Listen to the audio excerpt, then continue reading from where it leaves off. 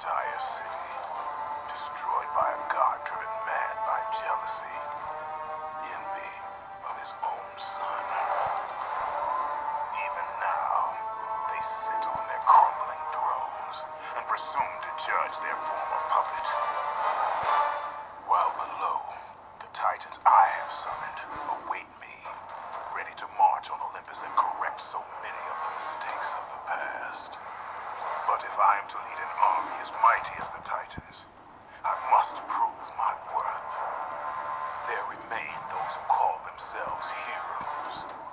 There is even talk of one who considers himself a god, issuing challenges to all who would answer. Heed my words, mortals.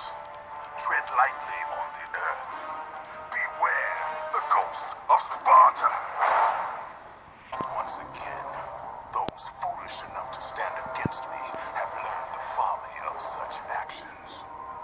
My destiny lies not with mortals. I must topple Olympus and all who occupy it once and for all. Titans! The son of Zeus has returned! Our hour is at hand, and we march now upon the gods! No creature sent from